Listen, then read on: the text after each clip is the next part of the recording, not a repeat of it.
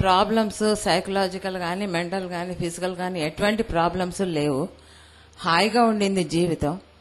ఇద్దరు పిల్లలు ఆయన నేను ఏదో ఉద్యోగం చేసేవారు సాయంత్రం ఇంటికి వచ్చేవారు. అంతా బాగుండింది. ఎవ్రీథింగ్ వాజ్ ఫైన్ కానీ ఒకటే వీళ్ళందరూ ఇలా ధ్యానం చేస్తున్నారు. చాలా ఎక్స్పీరియన్సెస్ ఏవో చెప్తున్నారు. నాకు నేను ఇలా ఉండిపోతానేమో అనే భయంతో ఒక యోగిలాగా మారాలి. నేను కూడా వీళ్ళకి వీళ్ళు నన్ను క్వశ్చన్స్ వేయాలి నేను ఆన్సర్ చెప్పగలగాలి అనే తపనతోటి ధ్యానం మొదలెట్టాను. ఆ ధ్యానంలో ఒక ఏడు సంవత్సరాలు బాగా సివియర్గా ధ్యానం చేశాను. ఇలాగే గంటలు గంటలు గంటలు గంటలు కూర్చునేదాన్ని. ఆ కూర్చున్నప్పుడు చాలా చాలా చాలా ఎక్స్పీరియన్సెస్ వచ్చేసేవి. ఒకటి తర్వాత ఒకటి ఒకటి తర్వాత ఒకటి. ఫస్ట్ ఈ కుండలిని శక్తి లేవడం కానీ ఫస్ట్ హీలింగ్ నేర్చుకున్నాను యాక్చువల్లీ నా మెడిటేషన్లో నేను ఫస్ట్ సిట్టింగ్లో నేను కోరుకున్నది రాఘవేంద్ర స్వామిని చూద్దామని. కానీ నాకు రాఘవేంద్ర స్వామి అంటే చాలా భక్తి ఉండేది అప్పట్లో. జీసస్ కనిపించాడు. ఆయన కనిపించి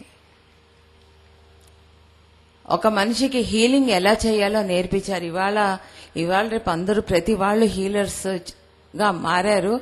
బట్ ఆ రోజుల్లో హీలింగ్ ఒక మనిషికి మనిషి చేయగలడనే సంగతి కూడా మాకు తెలిసేది కాదు. ఆ ప్ర- అలాంటి పరిస్థితుల్లో ఎనర్జీ ఎలా ట్రాన్స్ఫార్మ్ చేయాలి మనిషికి ఎలా మార్చాలి ఆ కర్మని మనం ఎలా తీసుకోవాలి ఇవన్నీ కూడా ఆయన దగ్గరుండి నాకు నాకు నేర్పించేవారు. అలా ఎంతో మందికి హీలింగ్ చేశాను. ఆ హీలింగ్ చేసి ఆ కర్మలన్నీ కూడా నాకు నేను అనుభవించేదాన్ని అనమాట వాళ్ళకి వాళ్ళు ఏ విధంగా బాధపడుతున్నారో ఆ బాధలన్నీ నాకు వచ్చేసేవి. వెంటనే నాకు తెలిసిపోయేది అక్కడ వాళ్ళకి తగ్గిపోయింది అని. ఇలాగే హీలింగ్ నేర్చుకున్న తర్వాత ఆయన చెప్పారు హీలింగ్ చేయకూడదు. ఒకళ్ళ కర్మని ఒకళ్ళు తీసుకోకూడదు. ఎవరి కర్మ వాళ్ళు అనుభవించాలి. ఎవరి హోంవర్క్ వాళ్ళు చేయాలి వాళ్ళ కర్మని మనం తీసుకున్నామంటే వాళ్ళ ఎదుగుదలని మనం ఆపేస్తున్నట్టు లెక్క వాళ్ళ అని ఆ చెప్పారు. అప్పటి నుంచి కూడా నేను ఆ విషయాన్ని మర్చిపోయాను. ధ్యానంలోనే ఉన్నాను. ధ్యానం చేసుకుంటూ ఉన్నాను. అందరికీ ధ్యానం చెప్పడం చేయడం. ధ్యానం చేస్తుంటే ఒకసారి ఒక మహర్షి నా ఎదురుగుండా వచ్చి నిలబడ్డాడు. వచ్చి నిలబడితే నువ్వు ధ్యానంలో ఏంటబ్బా ఇది? నా అని అనుకుంటూ ఉంటేనే ఆయన తన్ని తనే చెప్పుకున్నాడు. నేను విశ్వామిత్రుణ్ణి అని. అంటే విశ్వామిత్రు వాళ్ళు అంత మం అంత గొప్ప వ్యక్తి నాకు కనపడడం ఏంటి అని ఒక ఒక్క క్షణం ఒక సెకండ్ వచ్చి తర్వాత ధ్యానం చేస్తున్నాను కదా నాకు అనిపిస్తారు వీళ్ళంతా. ఇప్పుడు అంటే ఆయన అనుకొని సంతోషపడి ఆయన కర్మ సిద్ధాంతం గురించి చాలా చెప్పారు.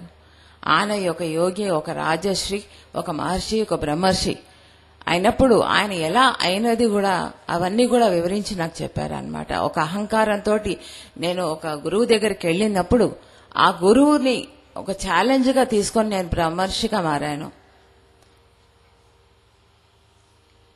సో ఈ విషయాలన్నీ కూడా ఆయన చెప్తూ వచ్చారు.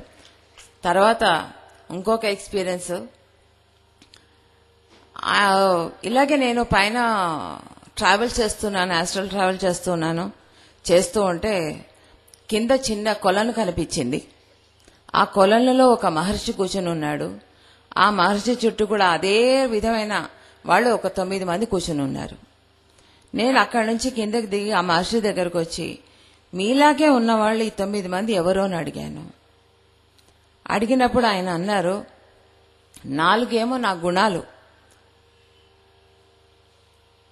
తామసం రాజసం సాత్వికం అండ్ శుద్ధ సాత్వికం. అండ్ ఐదేమో నా పంచేంద్రియాలు. ఆ ఇంద్రియాలని ఈ గుణాలని కూడా అధిగమించాను కాబట్టి నేను వాటిని సెపరేట్గా చేసుకోగలను నాలో ఉంచుకోగలను కూడా.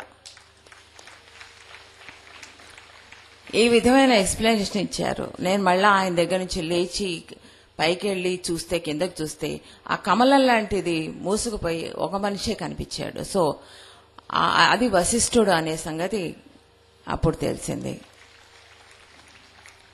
ఇలాగ చాలా మంది మనుషులు కర్నూలు నుంచి ట్రాన్స్ఫర్ అయి మేము హైదరాబాద్కి వచ్చేసాం. వచ్చేసిన తర్వాత ఎక్స్పీరియన్సెస్ అంటూ వచ్చేవి కానీ ఎవరు నాకు యోగులు ప్రత్యక్షంగా కనిపించేవారు కాదు. ఇలాగ మెడిటేషన్లో కనిపించడం చూడడం అదంతా మామూలు అయిపోయింది కానీ నాకు ఒక తపన మిగిలిపోయింది అనమాట ఒక యోగి నా ఎదురుగుండా ఎందుకు కనిపించడు? నాకు ఫిజికల్ ఫామ్లో ఒక యోగి నా కళ్ళ కనిపించాలనే తపంతోటి చాలా బాధపడుతుండేదాన్ని. ఒక్కోసారి కళ్ళలో నీళ్ళు వచ్చేస్తుండేవి చెప్పేదాన్ని. ఎవరికైనా చెప్తుంటే. సో కర్నూలుకి ట్రాన్స్ఫర్ అయినప్పుడు ఈయన లేనప్పుడు ఒకసారి ఇలాగే తలపేసుకొని కూర్చొని ధ్యానం చేస్తుంటే ఒక యోగి నా కళ్ళ